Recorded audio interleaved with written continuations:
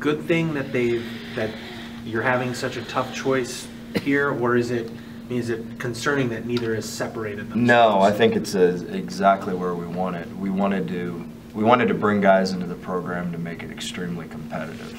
Uh, we wanted to put pressure on people to improve, and uh, that's what's occurred. Uh, we've, I think Mark has improved immensely.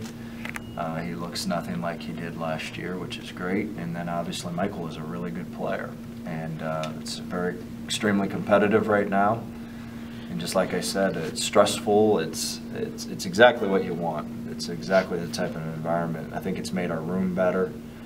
And uh, at the end of the day, whoever we decide to name, we're going to need two or three quarterbacks. You always do. I mean, you're you're a stone away from being um, the next guy up, and that third better be ready to go because you're, you're a play away then again. So it's the most unique position in football. You know, there's only one ball most of the time. There's only one quarterback.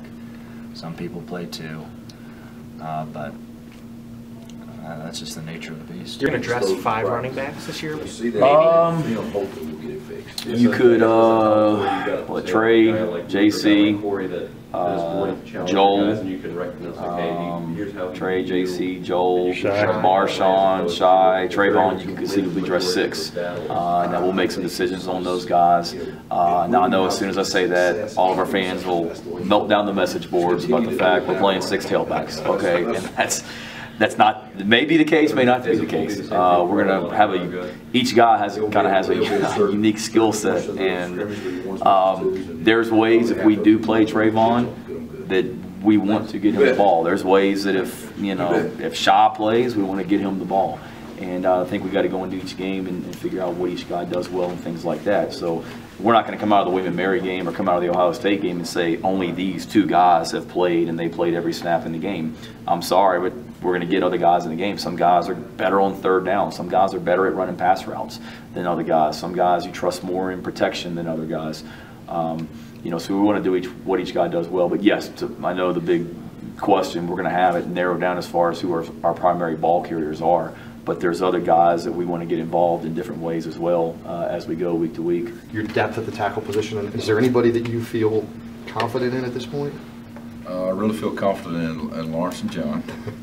And uh, the young guys are getting reps during this season. There's going to be times when somebody's going to have to step up, and, and they're getting challenged every day. When you go against Dadi and uh, some of those guys out there, Corey, and, and it, it's, it's a challenge. And uh, the kids are getting reps. They're getting a lot of work, which is good for them. I myself would pre- prefer to have the continuity, have five guys in there all the time, but uh, it, it's going good. Schumann was kind of a guy that, I might be wrong, he could play right or left. Yes. And maybe be next man up. Are you preparing somebody to be the next tackle up, or is it going to be, That's a work, right? in- that's a work in progress right now, and uh, there's a few guys, Wade Hansen coming over from defenses, he's really done a great job. He's worked hard. Uh, Parker Osterloh, uh, the freshman, uh, um, Doug Dynasty, Cole Pettit. Uh, Those, those kids are, you know, they're scrappy kids and working hard, and they're doing a good job.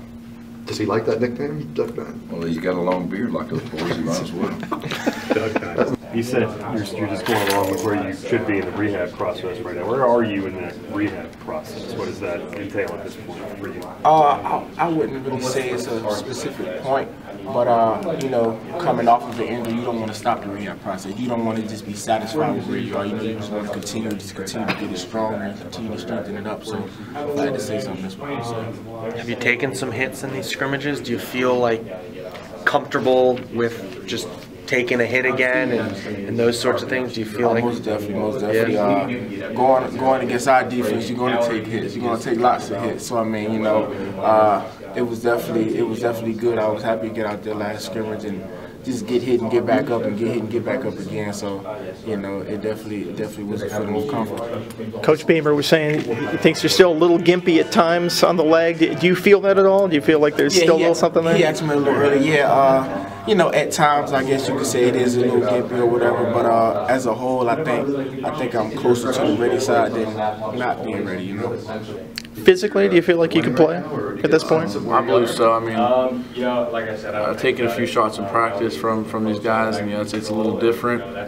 Um, you know, you guys are a lot bigger than these high school kids, but uh, I think I can hold my own. You just basically ran over the high school kids. It looked like from your highlight film, you just like jump into them on a, on a run like that. And you can't do that at this level, I would assume. Yeah, I can't do that. I'm going to be getting out of bounds a lot more and uh, probably you know sliding a little bit more.